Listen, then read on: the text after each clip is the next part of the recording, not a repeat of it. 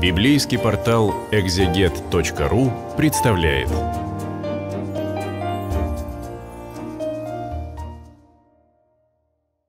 Здравствуйте. Это видео для библейского портала экзегет.ру. И мы обратимся сейчас к 14 главе Евангелия от Иоанна. 14 глава представляет собой часть э, или, может быть, первый вариант рассказа о э, беседе Господа Иисуса с учениками на Тайной вечере. Дело в том, что, э, вообще говоря, впечатление у читателя и у исследователя тоже создается, что в этом, в этом рассказе, который мы в целом называем часто прощальной беседой, в нем имеются э, повторы, повторы. И э, чаще всего это объясняют тем, что э, в древности могли существовать два или, может быть, даже три варианта записи этого рассказа, рассказа евангелиста о последней беседе.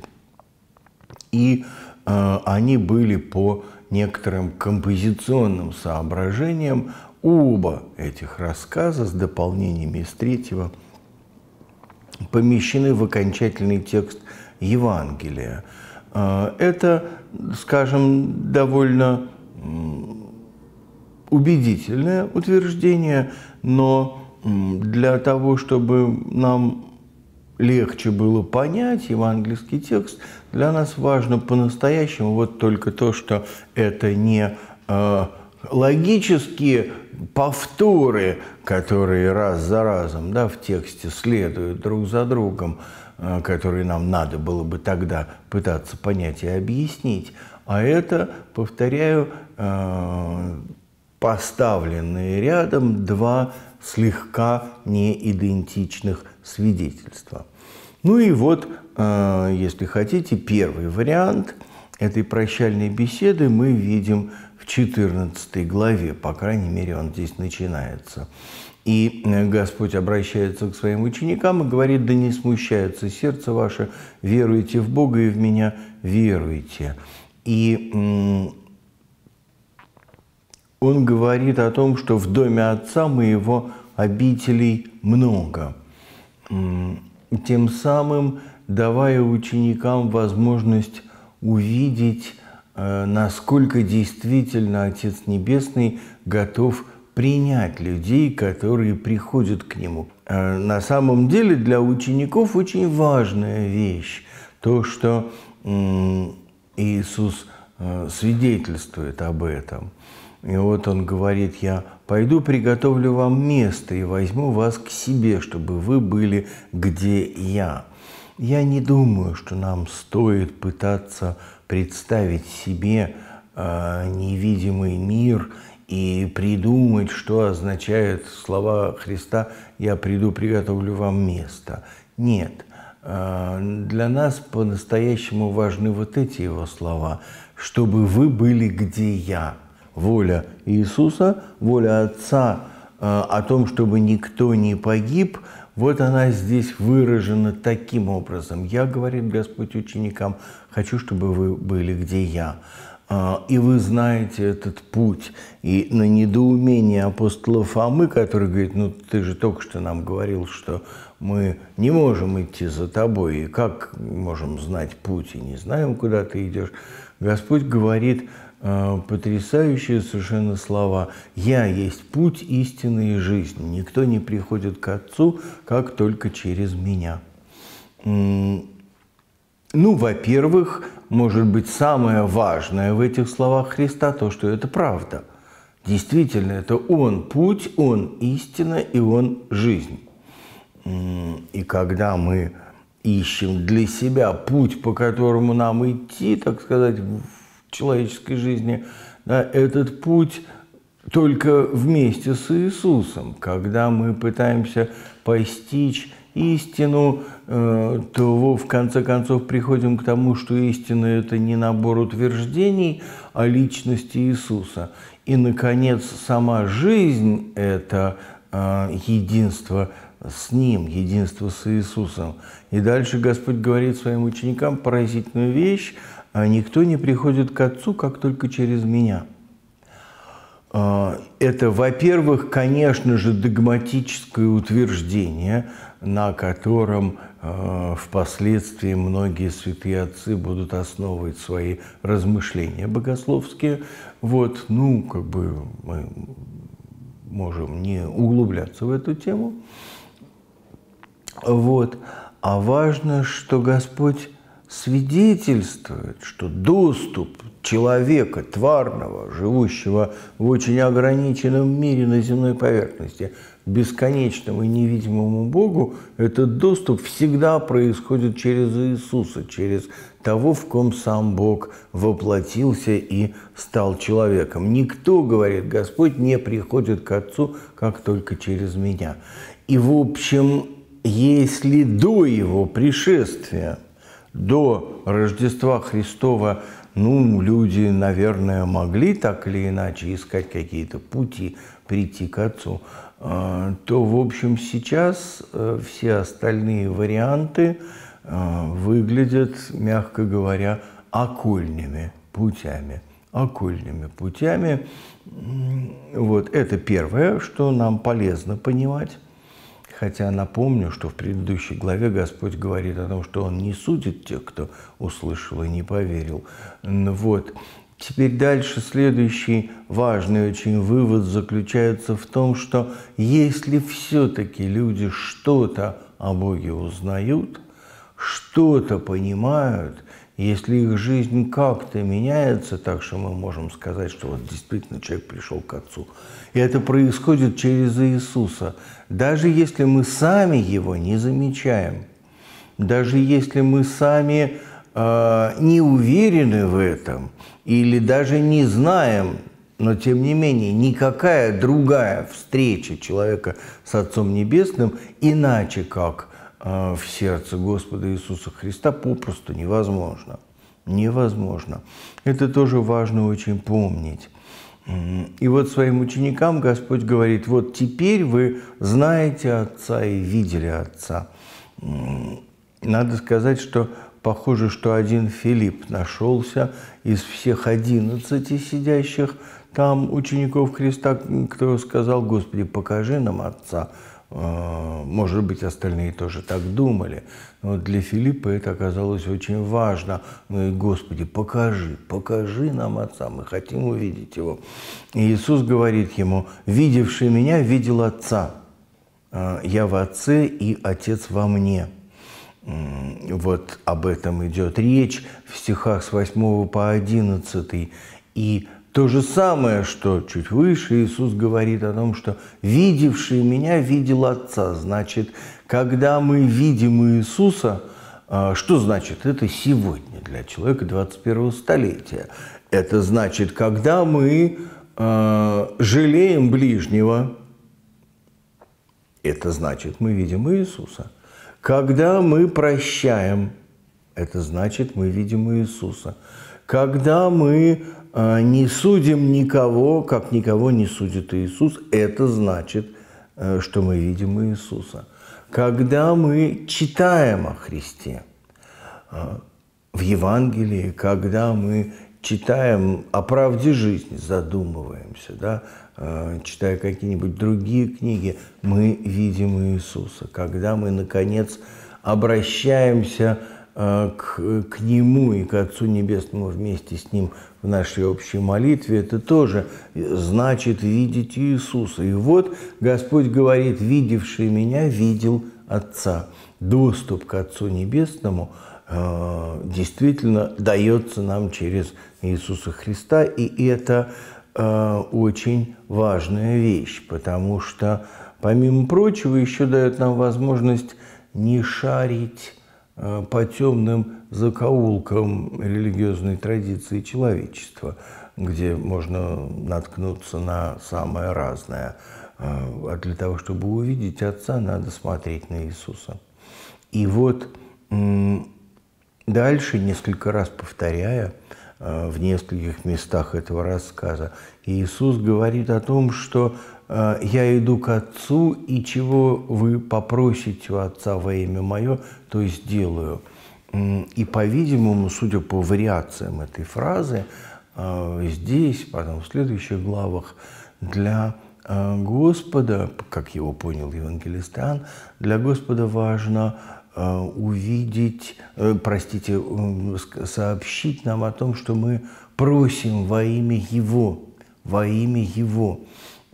Это то же самое утверждение о том, что видевший его видел Отца, только э, при взгляде, так сказать, с нашей человеческой стороны, обращаясь к Отцу, мы просим во имя Господа Иисуса Христа. И я это сделаю собственно говоря, по-настоящему, может быть, быть христианином означает именно согласиться на то, что, как выражается апостол Павел, один э, посредник и один ходатай, человек Иисус Христос, э, тот, в ком обитает вся полнота божества телесно, согласиться на то, что мы просим жизнью Отца Небесного и получаем ее во имя Иисуса Христа. Теперь дальше Господь снова говорит о своих заповедях, хотя здесь во множественном числе. Мы помним с вами, что э, только что Он говорил заповедь новую, даю вам всего одну, любите друг друга. И вот еще одна новая и удивительная вещь. Он говорит, я умолю Отца, и Он пошлет вам другого утешителя. Другого утешителя. Само слово «утешитель» или «заступник» Гоэл а, появляется в Ветхом Завете в контексте книги Иова, где Иов говорит Богу возмущенно, что ты судья, ты меня обвиняешь, а, защитника у меня нет. Таким образом, и судья ты, и обвинитель ты, а защитника у меня нет. Это несправедливо, говорит Иов, и говорит, тогда ты будь и моим защитником. И вот здесь возникает это слово «гоэл» – «утешитель». А, собственно, судя по тому, что здесь говорит Иисус, речь идет не только и даже не столько о том, что Дух Утешитель, как Бог обещает Иезекиилю, отрет всякую слезу. Э, не в этом смысле, э, может быть, надо понимать эти слова. Дух истины, которого, который будет с вами вовек. Он с вами, вы его знаете. Конечно, они его знают. Они Иисуса Э, знают и слушают Иисуса. Э, и даст поэтому вот Отец вам другого утешителя, чтобы он был с вами. Разница в том, что Иисус идет к Отцу, а Дух истины, которого Он от Отца посылает э, своим ученикам, прибудет с ними вовек, потому что они знают, что это Дух истины. Мне кажется, это очень Э, важная и такая, я бы сказал, обнадеживающая вещь. И именно поэтому дальше Господь говорит, не оставлю вас сиротами, приду к вам. Он ведь действительно от них уходит.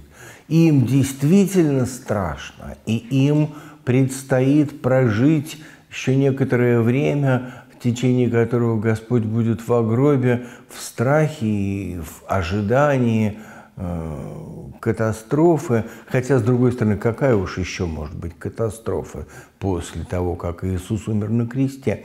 Ну вот, но э, вот это сиротство учеников действительно вещь очень трудная, и поэтому Господь несколько раз повторяет, «Я не оставлю вас сиротами, я приду к вам». Я говорю вам это заранее для того, чтобы, когда это все наступит, вы вспомнили и не смущались и не устрашались, да не смущается сердце ваше. Это очень важная, одна из центральных тем прощальной беседы, где Господь говорит о том, что Он все равно не бросит э, своих учеников. Вы уже вскоре не увидите меня, а потом опять увидите меня, потому что я живу, вы будете жить. Ученики путаются совершенно. В какой-то момент они спрашивают, что это он такое говорит. Э, и себя тоже мы запутались. То ли мы увидим, то ли не увидим, мир увидит, э, мир не увидит.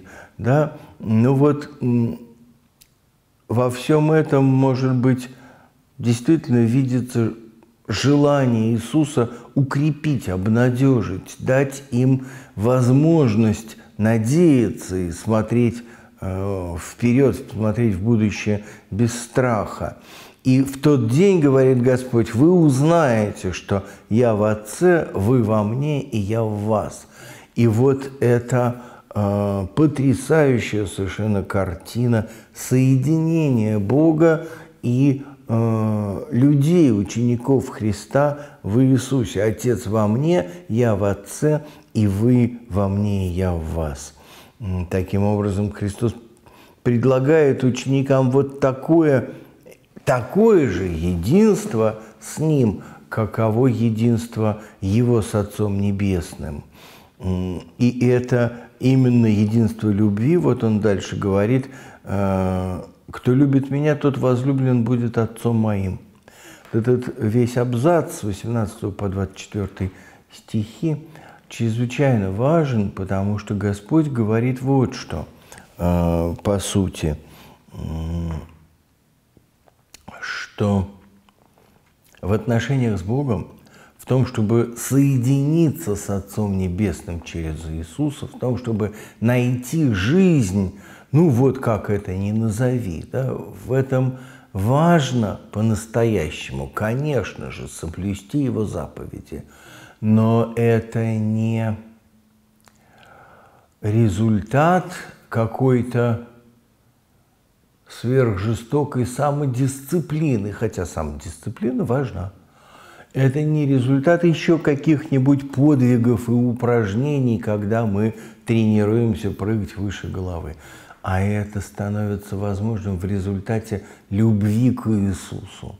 Тогда ты становишься христианином, тогда ты становишься подданным царства его Отца, когда ты начинаешь любить Иисуса. И это единственный критерий, единственный, и ничего с этим не поделаешь. Вот так написано. Кто любит меня, тот соблюдет Слово Мое. И Отец мой возлюбит его, мы придем к Нему и обитель у Него сотворим.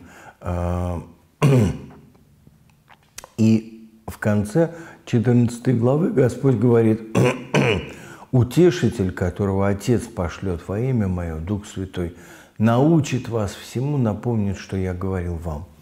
Вот это научение, понимание того, что Бог открывает нам о себе через Иисуса, да, во-первых, возможно для тех, кто любит Иисуса, во-вторых, это дар Божий – что, в общем, достаточно неудивительно, но самое поразительное, что это возможно. Это возможно. Мы, в общем, если честны перед собой и не отказываемся от труда критически мыслить, конечно же, понимаем, что наше постижение более или менее сложных вещей даже в этом мире, даже тварном мире, очень и очень ограничено, если не сказать половинчатое. И вот тем более, конечно, ну, Бога не видел никто никогда. Что мы можем э, здесь действительно знать? Вот Господь говорит о том, что Дух Утешитель научит вас всему, напомнит э, все, что я говорил вам. И значит, мы в состоянии это вместить. Не сами по себе – но вместе с Духом Святым в состоянии вместить вот эту вот э, правду о жизни, это призвание, которое Бог дает нам. Конечно, не только рациональным образом, и даже не столько рациональным, но все-таки вот быть сосудами Святого Духа, храмом Святого Духа, как говорит апостол Павел, это э, сообразно человеческой природе, и когда мы становимся любящими учениками Иисуса, это возможно. Это, само собой, очень важно. И еще Господь говорит, «Э, мир оставляю вам, мир мой даю вам. Мир, э, в смысле покой, примирение, примирение. Господь э, почти покидает своих учеников, и они в страхе и в Гефсимании мы увидим, как и сам Господь до кровавого пота молится и просит, чтобы его миновала чаша сия. Вот, но все-таки он говорит им, мир мой даю вам. И это тоже потрясающий очень важный дар Божий, который дается людям. И в самом конце уже Господь э, призывает своих учеников. По-видимому, это конец беседы на Тайной вечере, хотя это и не вполне очевидно, по крайней мере, вот этого варианта.